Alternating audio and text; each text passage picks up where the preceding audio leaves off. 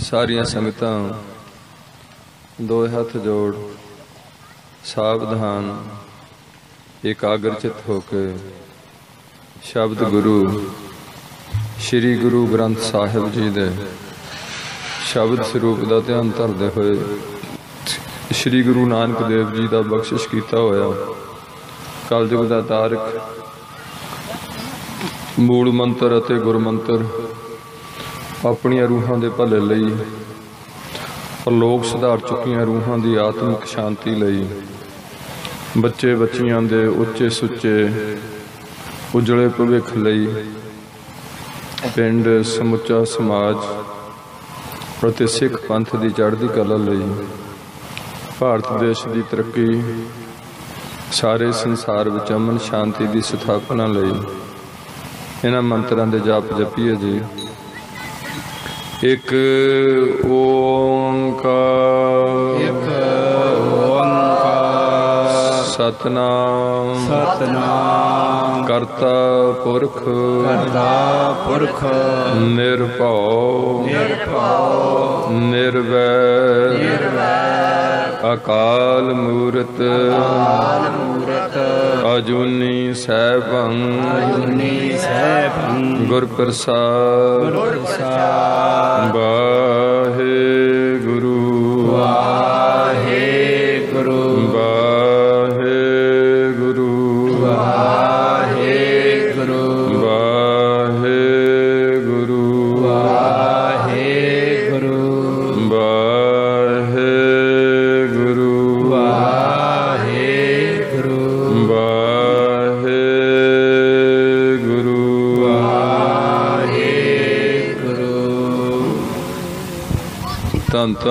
ਛਤਰ ਚਬਰ ਤਖਤ ਦੇ ਮਾਲਕ, ਬਾਣੀ ਕੇ ਬਹੁਤ, ਸਾਰੀ ਮਨੁੱਖਤਾ ਦੇ ਸਾਂਝੇ ਗਿਆਨ ਦਾਤਾ ਪਤਿਤ ਪਾਵਨ ਭਗਤ ਬਸ਼ਲ ਅੰਤਰਜਾਮੀ ਗਰੀਬ ਨਿਵਾਸ ਸਤਿਗੁਰੂ, ਸਾਹਿਬ ਸ੍ਰੀ ਗੁਰੂ ਗ੍ਰੰਥ ਸਾਹਿਬ ਜੀ ਦੀ ਪਰਮ ਪਿੱਤਰ ਹਜ਼ੂਰੀ ਅੰਦਰ ਜੁੜ ਬੈਠੀ, ਗੁਰੂ ਜੀ ਕੀ ਸਾਜੀ ਨਮਾਜੀ ਸਾਧ ਸੰਗ ਜੀਓ, ਗੁਰੂ ਜੀ ਕੇ ਖਾਸ ਰੂਪ ਖਾਲਸਾ ਸਾਧ ਸੰਗ ਜੀ ਗੁਰੂ ਪਾਤਸ਼ਾਹ ਨੇ ਬਖਸ਼ਿਸ਼ਾਂ ਕੀਤੀਆਂ, ਧੰਨ ਗੁਰੂ ਨਾਨਕ ਪਾਤਸ਼ਾਹ ਦੀਆਂ ਵਡਿਆਈਆਂ, ਇਸ ਨਗਰ ਸ਼ਾਹਪੁਰ ਦੀ ਸੰਗਤ ਦੀ ਝੋਲੀ ਵਿੱਚ ਇੱਕ ਰੋਜ਼ਾ ਕੀਰਤਨ ਸਮਾਗਮਾਂ ਦੀਆਂ ਦਾਤਾਂ ਪ੍ਰਾਪਤ ਹੋਈਆਂ। ਪ੍ਰਬੰਧਕੀ ਵੀਰਾਂ ਨੇ ਜਨਰੇਟਰ, ਲਾਈਟਾਂ, ਸਾਊਂਡ, ਸੁੰਦਰ ਸਟੇਜ, ਗੁਰੂ ਕੇ ਲੰਗਰ, ਕੜਾ ਪ੍ਰਸ਼ਾਦੀਆਂ ਦੇਗਾ ਬਹੁਤ ਅੱਛਾ ਪਾਰਕਿੰਗ ਦਾ ਪ੍ਰਬੰਧ ਕੀਤਾ ਹੋਇਆ। ਕੀਰਤਨੀ ਵੀਰ ਕੀਰਤਨ ਦੀ ਸੇਵਾ ਨਿਭਾ ਰਹੇ ਹਨ। ਥੋੜੇ ਚੰਦ ਮਿੰਟਾਂ ਲਈ ਪਤਾ ਲੱਗਾ ਸੀ ਵੀ ਅੱਜ ਕੋਈ ਵੀ ਕੀਰਤਨੀਆ ਨਹੀਂ ਆਇਆ। ਭਾਈ ਸਾਹਿਬ ਨੂੰ ਵੀ ਫੋਨ ਕੀਤਾ, ਇਹਨੇ ਵੀ ਫੋਨ ਬੰਦ ਕੀਤਾ ਹੋਇਆ ਸੀ। ਹਾਂ ਇਹ ਫੋਨ ਕੋਈ ਮੈਂ ਕਾਲੀ ਨੂੰ ਕੀਤਾ ਕਿੰਨੇ ਵਾਰੀ ਫੋਨ ਚਲੋ, ਜਿਵੇਂ ਹੋ ਗਿਆ। ਸੋ 5-7 ਮਿੰਟ ਦਾਸ ਦੀ ਸਿਹਤ ਠੀਕ ਨਹੀਂ ਹੈ। ਆਪ ਜੀ ਸੀਸ ਬਖਸ਼ੋ। ਫਤਿਹ ਗਜਾਓ, ਵਾਹਿਗੁਰੂ ਜੀ ਕਾ ਖਾਲਸਾ, ਵਾਹਿਗੁਰੂ ਜੀ ਕੀ ਫਤਿਹ। ਤਕਰੀਬਨ ਪਤਾ ਤਾਂ ਹੈ ਤੁਹਾਨੂੰ, ਸਮਾਗਮ ਦੀ ਵੀਰ ਜੀ ਪਹਿਲਾਂ ਦੱਸ ਦਿੰਦੇ ਨੇ ਸੰਖੇਪ ਰੂਪ ਵਿੱਚ। ਕੇਵਲ ਤੇ ਕੇਵਲ ਇੱਕੋ ਹੀ ਪ੍ਰਯੋਜਨ ਹੈ, ਗੁਰੂ ਪਾਤਸ਼ਾਹ, ਗੁਰੂ ਨਾਨਕ ਦੇਵ ਜੀ ਦਾ ਮਿਸ਼ਨ। ਅੱਛੇ ਤਰੀਕੇ ਨਾਲ ਆਪ ਧਾਰਨ ਕਰੀਏ ਤੇ ਇਹਨੂੰ ਸਾਰੇ ਸੰਸਾਰ ਵਿੱਚ ਉਹਨਾਂ ਦਾ ਸੰਦੇਸ਼ ਪਹੁੰਚਾਉਣ ਦਾ ਯਤਨ ਕਰੀਏ, ਕਿਉਂਕਿ ਕਲਯੁਗ ਦੇ ਅਵਤਾਰ ਗੁਰੂ ਨਾਨਕ ਪਾਤਸ਼ਾਹ ਆਏ ਹੋਏ ਨੇ। ਹੁਣ ਬਰਾਜਮਾਨ ਨੇ ਸ੍ਰੀ ਗੁਰੂ ਗ੍ਰੰਥ ਸਾਹਿਬ ਵਿੱਚ ਉਹਨਾਂ ਤੇ ਸਿੱਧਕ ਤੇ ਭਰੋਸਾ ਰੱਖੀਏ, ਹਰ ਪਿੰਡ ਦਾ ਵਧੀਆ ਸਿਸਟਮ ਹੋਏ, ਪਿੰਡ 'ਚ ਇਤਫਾਕ ਬਣਾ ਕੇ ਰੱਖੀਏ। ਹਿੰਦੂ ਸਾਰੇ ਜਨੇਊ ਪਾ ਕੇ ਹਿੰਦੂ ਬਣ, ਮੁਸਲਮਾਨ ਜਿਹੜੇ ਉਹ ਸੁਨਤ ਕਰਾ ਕੇ ਮੁਸਲਮਾਨ ਬਣਦੇ ਨੇ। ਈਸਾਈ ਜਿਹੜੇ ਨੇ ਪਾਣੀ 'ਚ ਗੋਤਾ ਲੈ ਕੇ ਈਸਾਈ ਧਰਮ ਨੂੰ ਧਾਰਨ ਕਰਦੇ ਨੇ। ਤੇ ਜਿਹੜੇ ਸਿੱਖ ਨੇ, ਇਹਨਾਂ ਨੂੰ ਹੁਕਮ ਹੈ, ਪੀਵੋ ਪਹੁਲ ਖੰਡੇ ਧਾਰ ਹੋਏ ਜਨਮ ਸਹੇਲਾ। ਵਾਹ ਵਾਹ, ਗੋਬਿੰਦ ਸਿੰਘ ਆਪੇ ਗੁਰਚੇਲਾ। ਭਾਵੇ ਆਪਣੇ ਧਰਮ 'ਚ ਪ੍ਰਵੇਸ਼ ਲੈਣ, ਉਸ ਤੋਂ ਬਾਅਦ ਜੋ ਸਾਨੂੰ ਸਿਧਾਂਤ ਪ੍ਰਾਪਤ ਹੁੰਦਾ, ਕਿਸੇ ਦਾ ਹੱਕ ਨਹੀਂ ਖਾਣਾ, ਨਸ਼ੇ ਨਹੀਂ ਲੈਣੇ, ਝੂਠ ਨਹੀਂ ਬੋਲਣਾ, ਚਾਲ ਚੱਲਣ ਦੇ ਉੱਚੇ ਸੁੱਚੇ ਬਣ ਕੇ ਰਹਿਣਾ, ਪੰਜ ਕਕਾਰੀ ਰਹਿਤ ਦੇ ਧਾਰਨੀ ਰਹਿਣਾ, ਚਾਰ ਵਜਰ ਕਰੈਤਾ ਨਹੀਂ ਕਰਨੀਆਂ। ਬੱਚੇ ਦੇ ਨਾਮ ਮਗਰ ਗੁਰੂ ਨਾਨਕ ਪਾਤਸ਼ਾਹ ਸ੍ਰੀ ਗੁਰੂ ਗ੍ਰੰਥ ਸਾਹਿਬ ਤੋਂ ਹੁਕਮਨਾਮਾ ਲੈ ਕੇ ਸਿੰਘ ਲਾਣਾ, ਬੇਟੀ ਦੇ ਨਾਮ ਮਗਰ ਹੁਕਮਨਾਮੇ ਤੋਂ ਕੌਰ ਲਾਣਾ। ਇਸ ਦੇ ਤਰੀਕੇ ਨਾਲ ਬੱਚਿਆਂ ਦੇ ਆਨੰਦ ਕਾਰਜ ਕਰਨੇ, ਸ੍ਰੀ ਗੁਰੂ ਗ੍ਰੰਥ ਸਾਹਿਬ ਜੀ ਦੀ ਤਾਬਿਆ ਹੋ ਕੇ ਕੋਈ ਮ੍ਰਿਤਕ ਸੰਸਕਾਰ ਜਿਹੜਾ, ਉਹ ਵੀ ਗੁਰੂ ਪਾਤਸ਼ਾਹ ਦਾ ਘਰੇ ਪਾਠ ਪੜ੍ਹਨਾ, ਪੁਰਾਣੀ ਨਿਮਿਤ ਅਰਦਾਸ ਬੇਨਤੀ ਕਰਨੀ ਜਿੱਥੇ ਅਰਦਾਸ ਬੇਨਤੀ ਕਰਨੀ ਜ਼ਰੂਰੀ ਹੈ, ਉੱਥੇ ਪੁਰਾਣੀ ਦਾ ਗੁਰੂ ਵਾਲਾ ਬਣਨਾ ਵੀ ਜ਼ਰੂਰੀ ਹੈ। ਗੁਰੂ ਪਾਤਸ਼ਾਹ ਬਖਸ਼ਦੇ ਨੇ, ਸੋ ਸਿੱਖ ਸਖਾ ਬੰਦਪ ਹੈ ਭਾਈ, ਜੇ ਗੁਰ ਕੇ ਭਾਣੇ ਵਿੱਚ ਆਵੇ ਉਹ ਮੇਰਾ ਸਿੱਖ ਹੈ, ਉਹ ਮੇਰਾ ਦੋਸਤ ਹੈ, ਮੇਰਾ ਰਿਸ਼ਤੇਦਾਰ ਹੈ, ਜਿਹੜਾ ਗੁਰੂ ਦੇ ਬਚਨਾਂ ਦੀ ਪਾਲਣਾ ਕਰੇਗਾ। ਆਪਣੇ ਭਾਣੇ ਜੋ ਚੱਲੇ ਭਾਈ, ਵਿਛੜ ਚੋਟਾਂ ਖਾਵੇ। ਅੱਜ ਬਹੁਤ ਵੱਡੀਆਂ ਚੁਣੌਤੀਆਂ ਨੇ ਕੌਮ ਦੇ ਅੱਗੇ ਦਰਪੇਸ਼ ਨਸ਼ਿਆਂ ਦੀ ਬੜੀ ਵੱਡੀ ਚੁਣੌਤੀ ਹੈ। ਸਿੱਖ ਧੀਆਂ ਸਿੱਖਾਂ ਦੇ ਘਰੇ ਭੇਜਣੀਆਂ। ਸਿੱਖ ਧੀ ਮੁਸਲਮਾਨ ਨੂੰ ਨਹੀਂ ਦੇਣੀ, ਈਸਾਈ ਨੂੰ ਨਹੀਂ ਦੇਣੀ। ਆਪ ਆਪਣੇ ਮਜ਼ਹਬ ਵਿੱਚ ਆਪ ਆਪਣੀਆਂ ਧੀਆਂ ਨੂੰ ਤੋਰਨਾ ਹੁੰਦਾ। ਤੇ ਜਦੋਂ ਅਸੀਂ ਸਿੱਖ ਬੇਟੀ ਨੂੰ ਕਿਸੇ ਐਸੇ ਘਰ 'ਚ ਤੋਰ ਦਈਏ, ਜਿਹਦੇ ਨਾਮ ਅਗਰ ਤਾਂ ਸਿੰਘ ਲੱਗਿਆ, ਉਂਝ ਉਹ ਕਬਰ ਤੇ ਤੇਲ ਪਾਣ ਜਾਂਦਾ, ਜਾਂ ਉਹ ਕਿਸੇ ਹੋਰ ਦੇਹਧਾਰੀ ਕੋਲੋਂ ਨਾਮ ਲੈ ਕੇ ਆਪਣੇ ਆਪ ਨੂੰ ਉਹਦਾ ਚੇਲਾ ਖਵਾਉਂਦਾ ਜਿਹਦੇ ਬਾਰੇ ਭਾਈ ਗੁਰਦਾਸ ਜੀ ਕਹਿੰਦੇ ਨੇ ਕਿ ਸਤਿਗੁਰ ਸਾਹਿਬ ਛੱਡ ਕੇ ਮਨਮੁਖ ਹੋਏ ਬੰਦੇ ਦਾ ਬੰਦਾ। ਐਸੀ ਥਾਂ ਤੇ ਉਹ ਜਾ ਰਿਹਾ, ਵਿਚਾਰਾ ਗੁੰਮਰਾਹ ਹੋਇਆ, ਜਾਂ ਨਸ਼ੇ ਪੀ ਰਿਹਾ, ਜਾਂ ਕੋਈ ਹੋਰ ਐਸੇ ਗਲਤ ਜਿਹੜੇ ਗੁਰਮਤ ਤੋਂ ਉਲਟ ਕਰਨ ਕੰਮ ਨੇ, ਉਹ ਕਰ ਰਿਹਾ। ਤੇ ਐਸੇ ਕਰ ਜਿਹੜੀ ਧੀ ਜਾਂਦੀ ਹੈ, ਉਹ ਵਿਚਾਰੀ ਦੁਖੀ ਹੁੰਦੀ ਹੈ। ਇਹ ਹਜੇ ਵੀ ਗੁਰੂ ਪਾਤਸ਼ਾਹ ਦੀ ਰਹਿਮਤ ਹੈ। ਇਸ ਕੌਮ ਦੀਆਂ ਧੀਆਂ ਹਜੇ ਜਿਹੜੀਆਂ ਪਿੰਡਾਂ 'ਚ ਬੈਠੀਆਂ, ਉਹ ਨਸ਼ਿਆਂ ਤੋਂ ਸੰਕੋਚ ਕਰਦੀਆਂ ਨੇ, ਕੋਈ ਨਸ਼ਾ ਨਹੀਂ ਲੈ ਰਹੀਆਂ। ਪਰ ਜਦੋਂ ਇਹਨਾਂ ਨੂੰ ਐਸੇ ਘਰਾਂ 'ਚ ਭੇਜਿਆ ਜਾਂਦਾ, ਜਿੱਥੇ ਇਹਨਾਂ ਚੀਜ਼ਾਂ ਦਾ ਸੇਵਨ ਕੀਤਾ ਜਾਂਦਾ, ਉੱਥੇ ਉਹਨਾਂ ਦਾ ਜੀਵਨ ਬਹੁਤ ਦੁੱਭਰ ਹੋ ਜਾਂਦਾ। ਉਹ ਵਿਚਾਰੇ ਨਾ ਅੱਗੇ ਜੋਗੀਆਂ, ਨਾ ਪਿੱਛੇ ਜੋਗੀਆਂ ਰਹਿਣੀਆਂ ਇਸ ਕਰਕੇ ਜਥੇ ਵੱਲੋਂ ਆਪ ਜੀ ਦੇ ਚਰਨਾਂ 'ਚ ਸਿਮਰੇ ਹੋ ਬੇਨਤੀਆਂ ਕੀਤੀਆਂ ਜਾਂਦੀਆਂ ਨੇ ਵੀ ਘਬਰਾਓ ਨਾ। ਜਿਹੜੇ ਮੇਰੇ ਵੀਰਾਂ ਨੇ ਖੰਡੇ ਦੀ ਪੌੜ ਛਕੀ ਹੈ, ਉਹ ਵੀ ਥੋੜਾ ਆਪਣੇ ਆਪ ਨੂੰ ਇਸ ਗੱਲ 'ਚ ਗੁਰੂ ਪਾਤਸ਼ਾਹ ਦੀ ਖੁਸ਼ੀ ਮਹਿਸੂਸ ਕਰਿਆ ਕਰੋ ਵੀ ਸਾਡੇ ਤੇ ਰਹਿਮਤ ਹੋਈ ਗੁਰੂ ਪਾਤਸ਼ਾਹ ਦੀ, ਆਪਣੇ ਆਪ ਨੂੰ ਘਟਿਆ ਨਾ ਸਮਝਿਆ ਕਰੋ ਵੀ ਅਸੀਂ ਅਮਰ ਛਕ ਲਿਆ, ਹੁਣ ਅਸੀਂ ਪਤਾ ਨਹੀਂ ਕੁਝ ਵੀ ਨਹੀਂ ਰਹੇ। ਇਹ ਗੱਲ ਬਹੁਤ ਗਲਤ ਹੈ। ਦੱਸਦੇ ਨੇ ਹਰਭਜਨ ਸਿੰਘ ਜੋਗੀ ਇੱਕ ਦੇਸ਼ ਵਿੱਚ ਗਏ ਸਨ। ਉਹ ਇੱਕ ਜਿੱਥੋਂ ਲੰਘਦੇ ਸਨ, ਉੱਥੇ ਸਾਰੇ ਹਬਸ਼ੀਆਂ ਦੀ, ਵਾਦੀ ਸੀ, ਕਾਲਿਆਂ ਦੀ। ਤੇ ਉਹਨਾਂ ਦੀ ਬੋਲੀ ਆਪਣੀ ਹੁੰਦੀ, ਹਰ ਇੱਕ ਦੀ ਆਪ ਆਪਣੀ ਬੋਲੀ ਹੁੰਦੀ ਹੈ। ਜਦੋਂ ਲੂਣੀ ਲੰਘਣਾ, ਤੇ ਉਹਨੇ ਕਾਲਿਆਂ ਨਾਲ ਘਰੋਂ ਬਾਹਰ ਨਿਕਲ ਕੇ ਉੱਪਰ ਨੂੰ ਐਦਾਂ ਬਾਹਾਂ ਖੜੀਆਂ ਕਰਕੇ ਕੁਝ ਬੋਲਣਾ ਦੋ ਤਿੰਨ ਦਿਨ ਲੰਘਿਆ, ਉਹ ਇਦਾਂ ਹੀ ਬੋਲਦੇ ਰਹੇ। ਉੱਥੋਂ ਦੀ ਕੋਈ ਬਹੁਤ ਬਜ਼ੁਰਗ ਮਾਤਾ ਸੀ, ਉਹਨੇ ਉਹਨੂੰ ਪੁੱਛਿਆ ਉਹ ਥੋੜੀ ਹਿੰਦੀ ਜਾਣਦੀ ਸੀ, ਮਾੜੀ ਮੋਟੀ। ਹਿੰਦੀ ਬੋਲਦੀ ਸੀ, ਮਾੜੀ ਮੋਟੀ। ਹਿੰਦੁਸਤਾਨ ਚ ਕਿਤੇ ਆ ਲਈ ਸੀ। ਉਹ ਆਂਦੇ ਵੀ, ਮਾਤਾ, ਕੀ ਗੱਲ ਹੈ ਲੋਕ ਜਿਹੜੇ ਇਦਾਂ ਬੋਲਦੇ ਕੀ ਨੇ? ਜੇ ਮੇਰੇ ਤੋਂ ਦੁਖੀ ਨੇ, ਤੇ ਮੈਂ ਕਿਸੇ ਹੋਰ ਰਸਤੇ ਲੰਘ ਜਾ ਕਰੂੰਗਾ। ਮੈਂ ਹੱਸੀ ਕਿਸੇ ਨੂੰ ਦੁਖੀ ਨਹੀਂ ਕਰਦਾ। ਇਹ ਇਦਾਂ ਜਦੋਂ ਮੈਂ ਲੰਘਦਾ ਉਦਾਂ ਬੋਲਦੇ ਨੇ। ਤੇ ਉਹ ਮਾਂ ਕਹਿੰਦੀ ਵੀ, ਪੁੱਤਰ, ਨਹੀਂ, ਇਹ ਐਸੀ ਕੋਈ ਗੱਲ ਨਹੀਂ ਹੈ। ਇਹ ਜਦੋਂ ਤੂੰ ਲੰਘਦਾ ਆਇਆ, ਇਹ ਉਸ ਅੱਲਾਹ ਤਾਲਾ ਖੁਦਾ ਪਰਮਾਤਮਾ ਵਾਹਿਗੁਰੂ ਨੂੰ ਕਹਿੰਦੇ ਨੇ ਵੀ ਹੈ ਵਾਹਿਗੁਰੂ, ਅੱਜ ਤੇਰਾ ਅਸਲੀ ਰੂਪ ਹਸੀ ਦੇਖਿਆ। ਵੀ ਦਾੜੀ ਹੈ ਮੁਸ਼ਹਿਰੇ ਲੱਗੇ ਨੇ, ਜਿਹੜਾ ਤੂੰ ਬੰਦੇ ਨੂੰ ਬਣਾਇਆ ਜਿੱਦਾਂ ਦਾ ਅਸਲੀ ਰੂਪ ਵਿੱਚ ਅੱਜ ਉਹ ਹਸੀ ਦੇਖਿਆ। ਕੋਈ ਕਿਸੇ ਨਾਲ ਕੇਸ ਕੱਟੇ ਨੇ, ਕਿਸੇ ਨੇ ਮੁੱਛਾਂ ਕੱਟੀਆਂ ਨੇ, ਕਿਸੇ ਨਾਲ ਦਾੜੀ ਕੱਟੀ ਹੈ ਕਿਸੇ ਨਾਲ ਹੋਰ ਕੋਈ ਆਪਣਾ ਡਿਜ਼ਾਈਨ ਬਦਲਿਆ। ਇਹ ਤੁਹਾਨੂੰ ਇੱਕ ਗੁਰੂ ਪਾਤਸ਼ਾਹ ਨੇ ਸਾਫਤ ਸੂਰਤ ਦਸਤਾਰ ਸਿਰਾ ਦੇ ਧਾਰਨ ਕੀਤਾ। ਤੁਸੀਂ ਇਸ ਗੱਲ ਨਾਲ ਸਮਾਂ ਥੋੜਾ ਗੁਰੂ ਪਾਤਸ਼ਾਹ ਤੇ ਮਾਣ ਹੁੰਦਾ ਸਨ। ਕਹਿੰਦੇ ਨੇ, ਮਾਣ ਮੰਗੂ, ਤਾਣ ਮੰਗੂ, ਧਨ ਲਖਮੀ ਸੁਤ ਦੇ। ਆਪਣੇ ਗੁਰੂ ਤੇ ਮਾਣ ਕਰਨਾ, ਉਹਨਾਂ ਸਾਨੂੰ ਕਿਸ ਤਰੀਕੇ ਨਾਲ ਆਪਣੇ ਚਰਨਾਂ ਨਾਲ ਨਵਾਜ਼ਿਸ਼ ਕੀਤਾ, ਸਾਨੂੰ ਆਪਣੇ ਸਿਧਾਂਤ ਵਿੱਚ ਲਿਆਂਦਾ। ਤੇ ਜਦੋਂ ਤੁਸੀਂ ਇਸ ਗੱਲ ਨੂੰ ਅਪ- ਘਟੀਆ ਸਮਝਣ ਲੱਗ ਪੈਨੇ ਵੀ ਹ- ਸਾਡੀ ਦਾੜੀ ਹੈ, ਸਾਨੂੰ ਇਹ ਚੰਗੀ ਨਹੀਂ ਲੱਗਦੀ। ਤੇ ਇਹ ਗੱਲ ਨਾਲ ਕੌਮ ਦਾ ਸਿਰ ਨੀਵਾ ਹੁੰਦਾ, ਪ੍ਰਾਪਤ ਕੋਈ ਚੀਜ਼ ਨਹੀਂ ਹੁੰਦੀ ਇਸ ਕਰਕੇ ਅੱਜ ਸਾਨੂੰ ਸਮਝਣ ਦੀ ਲੋੜ ਹੈ ਕਿ ਅਸੀਂ ਤਕੜੇ ਹੋ ਕੇ ਇਸ ਗੱਲ ਨੂੰ ਚੁੱਕੀਏ, ਆਪਣੇ ਗੁਰੂ ਜੀ ਦੇ ਬਚਨਾਂ ਦੀ ਪਾਲਣਾ ਕਰੀਏ, ਕਿਉਂਕਿ ਜਦੋਂ ਸਰੀਰ ਛੱਡਣ ਤੋਂ ਬਾਅਦ ਰੂਹ ਅੱਗੇ ਚੱਲਦੀ ਹੈ ਪਰਲੋਕ ਨੂੰ, ਉਸ ਰਸਤੇ 'ਚ ਇਹਦਾ ਆਸਰਾ ਕੇਵਲ ਤੇ ਕੇਵਲ ਇੱਥੋਂ ਦੇ ਕੀਤੇ ਹੋਏ ਚੰਗੇ ਕਰਮ ਤੇ ਗੁਰੂ ਦੀ ਮੱਤ, ਇਹ ਦਾ ਬੜਾ ਆਸਰਾ ਬਣਦਾ ਹੈ। ਤੇ ਜਿਹੜੇ ਬੰਦੇ ਨਗੁਰੇ ਹੁੰਦੇ ਨੇ, ਉਹਨਾਂ ਬਾਰੇ ਬਹੁਤ ਬੁਰੀ ਹਾਲਤ ਹੁੰਦੀ, ਉਹਨਾਂ ਦੀ ਰੂਹ ਪਹਿਲਾਂ ਇੱਥੇ ਵੀ ਬੜੀ ਦੁਖੀ ਹੁੰਦੀ ਹੈ, ਅੱਗੇ ਜਾ ਕੇ ਫਿਰ ਉਹ ਰੂਹ ਬਹੁਤ ਜ਼ਿਆਦਾ ਦੁਖੀ ਹੁੰਦੀ ਹੈ, ਤੇ ਜੰਮਣ ਮਰਨ ਦੇ ਗੇੜ 'ਚ, ਲੰਮੇ ਗੇੜ 'ਚ ਪੈ ਜਾਂਦੀ ਹੈ। ਇਸ ਕਰਕੇ ਗੁਰੂ ਪਾਤਸ਼ਾਹ ਨੇ ਸਾਨੂੰ ਬਾਰ-ਬਾਰ ਇਸੇ ਗੱਲ ਦੀ ਹਦਾਇਤ ਕੀਤੀ ਹੈ ਕਿ ਆ ਜਿਹੜੀ ਬਾਰੀ ਮਿਲੀ ਹੈ, ਤੁਹਾਨੂੰ ਮਨੁੱਖਾ ਜਨਮ ਦੀ ਇਹ ਕੇਵਲ ਬੰਦੇ, ਬੰਦਗੀ ਅਖਤਿਆਰ, ਸਾਹਿਬ ਰੋਸ ਧਰੋ ਕੇ ਪਿਆਰ। ਹੈ ਇਨਸਾਨ ਤੇ ਤੋਂ ਬਿਨਾ ਹੋਰ ਕੋਈ ਵੀ ਜੂਨ ਬੰਦਗੀ ਨਹੀਂ ਕਰ ਸਕਦੀ। ਤੂੰ ਇੱਥੇ ਬੰਦਗੀ ਕਰ। ਤੂੰ ਇਸ ਗੱਲ ਨਾਲ ਨਾ ਸੋਚ ਵੀ ਜੇ ਤੂੰ ਬੰਦਗੀ ਕਰਦਾ ਆ ਥੋੜਾ ਨਾਮ ਜਪਦਾ ਆ, ਬਾਣੀ ਪੜਦਾ ਸੰਗਤ ਕਰਦਾ, ਕਿਤੇ ਤੈਨੂੰ ਕੋਈ ਸੱਟ ਲੱਗ ਜਾਂਦੀ ਹੈ ਜਾਂ ਤੇਰੇ ਘਰ 'ਚ ਕੋਈ ਐਸੀ ਦੁੱਖ ਤਕਲੀਫ ਆਂਦਾ ਆ, ਉਹ ਉਹਨੂੰ ਵੀ ਪੋਜ਼ਿਟਿਵ ਲਿਆ ਕਰ, ਗੁਰੂ ਪਾਤਸ਼ਾਹ। ਬਹੁਤ ਜਿਹਦੇ ਤੇ ਖੁਸ਼ ਹੋਣ। ਇੱਕ ਮੁਸਲਮਾਨਾਂ ਦਾ ਸੀ ਬੰਦਾ। ਉਹ ਅੱਲਾ ਦੀ ਇਬਾਦਤ ਕਰਦਾ ਸੀ।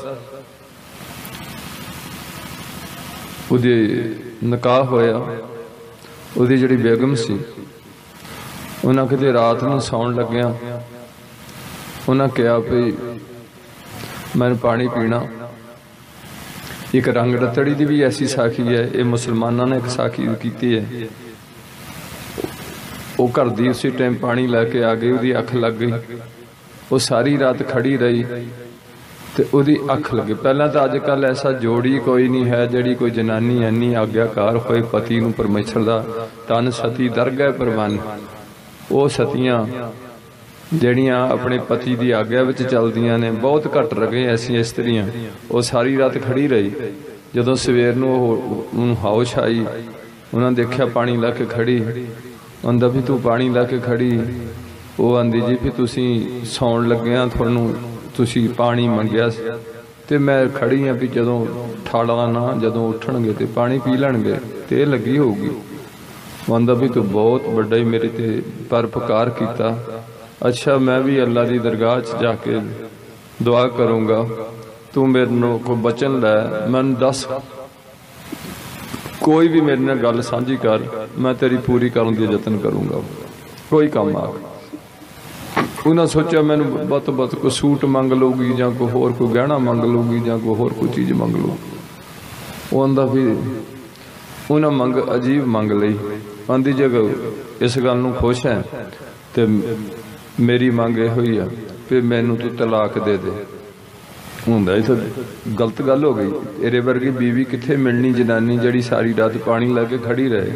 ਤੂੰ ਇਹ ਗਲਤ ਗੱਲ ਮੰਗਦੀ ਆ। ਆਂਦੀ, ਨਹੀਂ, ਤੁਸੀਂ ਮੈਨੂੰ ਬਚਨ ਕੀਤਾ ਵੀ ਮੈਨੂੰ ਜੋ ਮੰਗੇਗੀ ਮੈਂ ਤੇਰਾ ਕੰਮ ਪੂਰਾ ਕਰੂੰਗਾ। ਮੈਨੂੰ ਹੁਣ ਤਲਾਕ ਦੇ ਦਿਓ ਉਹ ਬੜਾ ਹੈਰਾਨ ਪਰੇਸ਼ਾਨ ਹੋਇਆ। ਆਂਦਾ, ਕੋਈ ਨਹੀਂ ਕੱਲ ਨੂੰ ਇਸ ਗੱਲ ਦਾ ਫੈਸਲਾ ਕਰਾਂਗੇ, ਦਰਗਾਹ 'ਚ ਜਾਵਾਂਗੇ।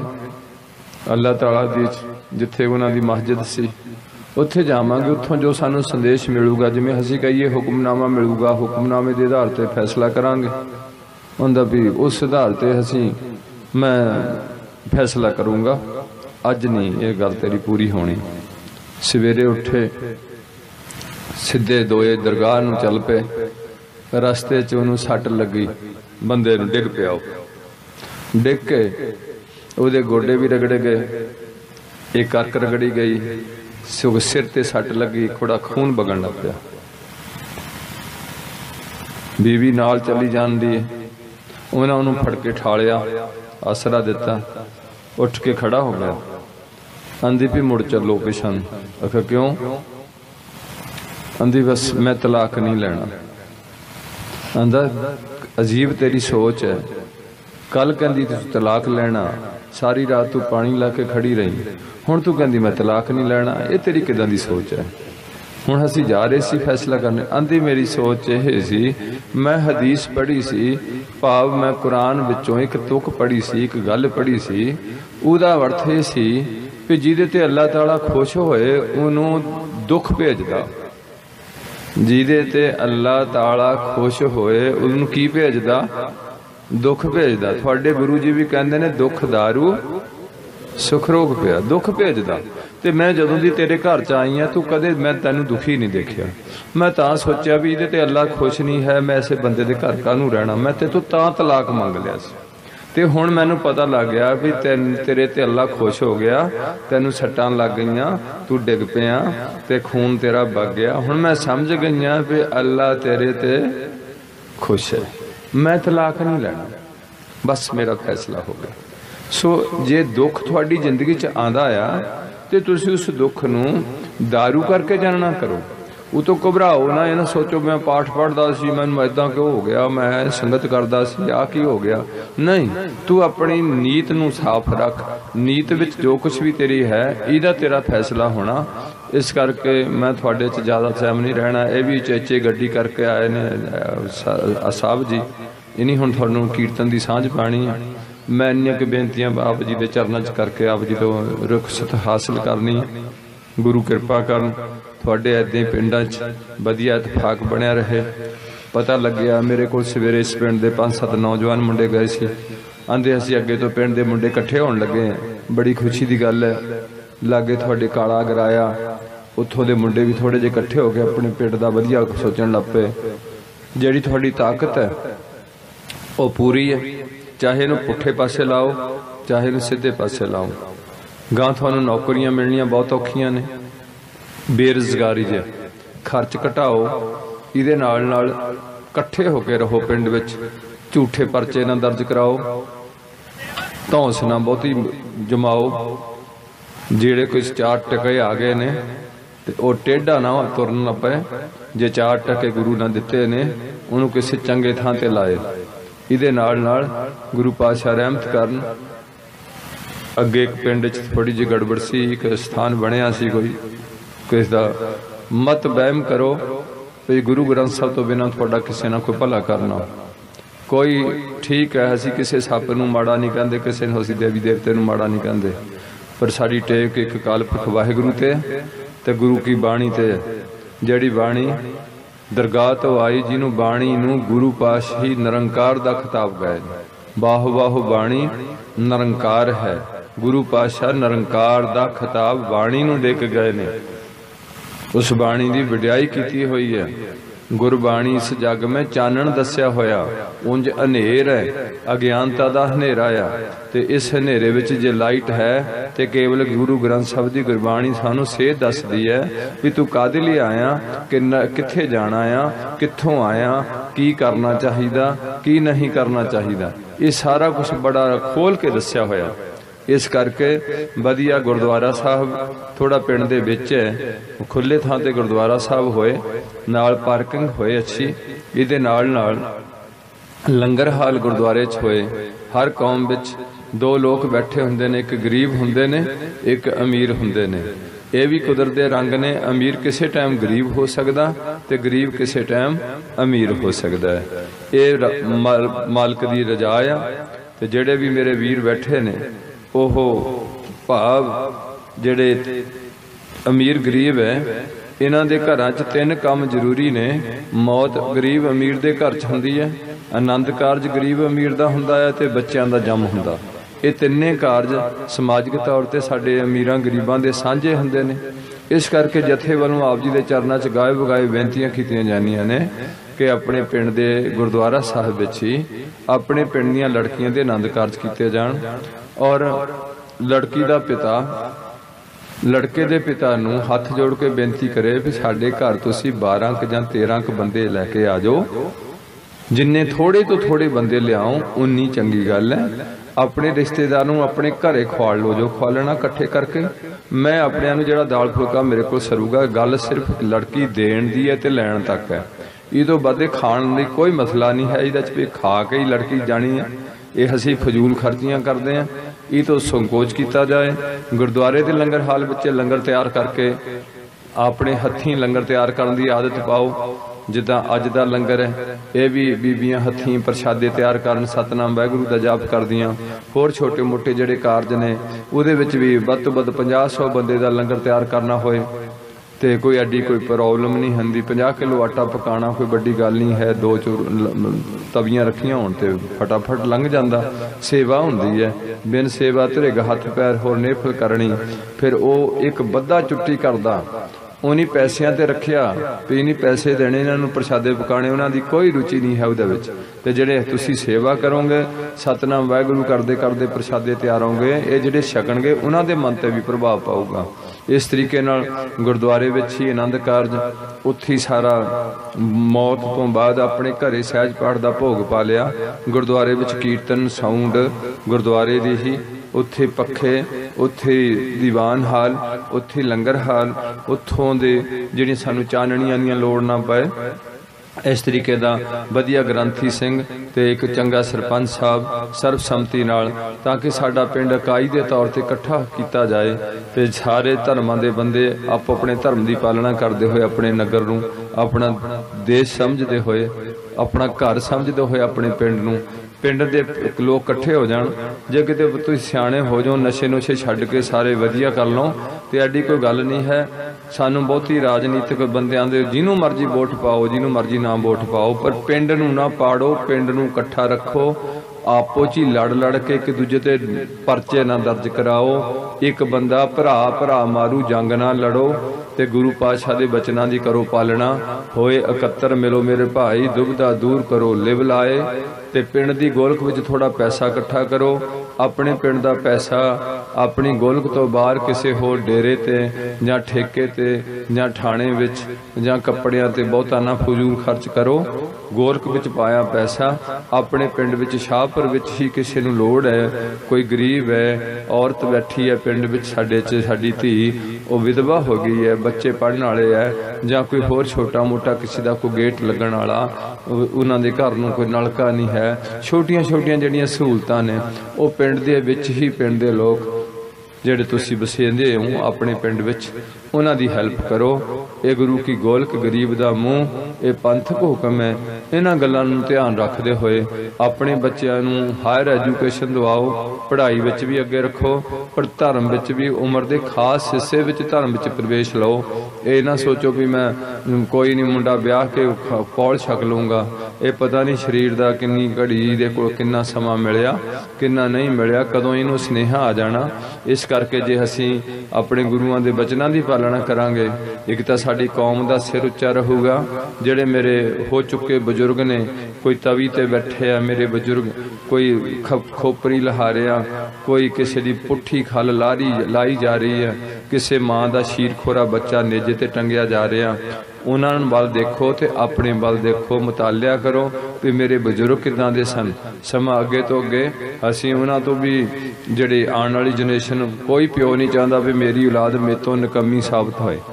ਤੇ ਗੁਰੂ ਵੀ ਨਹੀਂ ਚਾਹੁੰਦੇ, ਸਿੱਖ ਜਿਹੜੇ ਸਾਡੇ ਬਜ਼ੁਰਗ ਹੋਏ ਨੇ, ਉਹ ਵੀ ਨਹੀਂ ਚਾਹੁੰਦੇ ਵੀ ਸਾਡੀ ਔਲਾਦ ਐਦਾਂ ਦੀ ਹੋ ਜਾਏ, ਜਿਹੜੇ ਇਹਨਾਂ ਨੂੰ ਕੇਸ ਰੱਖਣੇ ਵੀ ਭਾਰੇ ਹੋ ਜਾਣ, ਜਾਂ ਇਹਨਾਂ ਨੂੰ ਗੁਰੂ ਦੇ ਨਾਂ ਤੋਂ ਨਸ਼ਾ ਛੱਡਣਾ ਭਾਰਾ ਹੋ ਜਾਏ, ਜਾਂ ਇਹਨਾਂ ਨੂੰ ਗੁਰੂ ਦੇ ਨਾਂ ਤੇ ਨਿਤਨੇਮ ਕਰਨਾ ਭਾਰਾ ਹੋਣ ਲੱਗ ਪਏ, ਫਿਰ ਸਾਡਾ ਆਪਣੇ ਆਪ ਨੂੰ ਜਿਹੜੇ ਅੱਛੀ ਔਲਾਦ ਕਹਾਣਾ ਫਰਜ਼ ਨਹੀਂ ਬਣਦਾ। ਇਹਨਾਂ ਗੱਲਾਂ ਨੂੰ ਧਿਆਨ 'ਚ ਰੱਖੋ। ਗੁਰੂ ਪਾਤਸ਼ਾਹ ਰਹਿਮਤ ਕਰਨ, ਸਮਾਗਮਾਂ ਦੀ ਬੇਸ਼ੱਕ ਤੁਸੀਂ ਇਕੱਠਾ ਪੈਸਾ ਕਰ ਲੈਣੇ ਜਿੱਦਾਂ ਹੁਣ ਅੱਜ ਦੇ ਸਮਾਗਮ ਵਿੱਚ ਹਰ ਬੰਦਿਆਂ ਨੇ ਤੁਹਾਨੂੰ ਪੈਸੇ ਦਿੱਤੇ ਹੋਣੇ। ਬੇਸ਼ੱਕ ਸਮਾਗਮ ਦੀ ਸਮਾਪਤੀ ਤੇ ਜਾਂ ਫੇਰ ਗੁਰਦੁਆਰੇ ਵਿੱਚ ਇਹਦੇ ਵਿੱਚੋਂ ਕੁਝ ਪੈਸਾ ਬਚਾ ਕੇ ਇੱਥੇ ਪੈਸਾ ਮੈਨੂੰ ਪਤਾ, ਇਹ ਲੋਕ ਇਹਨਾਂ ਕੰਮਾਂ ਨੂੰ ਪੈਸੇ ਦੇ ਦਿੰਦੇ ਨੇ। ਲੰਗਰ ਨੂੰ ਵੀ ਪੈਸੇ ਦੇ ਦੇਣਗੇ, ਇਹਨਾਂ ਚੀਜ਼ਾਂ ਨੂੰ ਦੇ ਦੇਣਗੇ। ਪਰ ਜਦੋਂ ਇਹ ਕਿਸੇ ਲੋੜ ਬੰਦੇ ਦੀ ਮਦਦ ਵਾਸਤੇ ਇਹਨਾਂ ਨੂੰ 50 ਰੁਪਏ ਦੇਣੇ ਪੈਣ, ਫਿਰ ਇਹਨੂੰ ਮੌਤ ਪੈਂਦੀ ਹੈ ਇਹਦੇ ਵਿੱਚੋਂ ਪੈਸਾ ਬਚਾ ਕੇ ਬੇਸ਼ੱਕ ਕਿਸੇ ਦੀ ਮਦਦ ਕਰਨੀ ਹੈ, ਆਪਣੇ ਪਿੰਡ ਵਿੱਚ।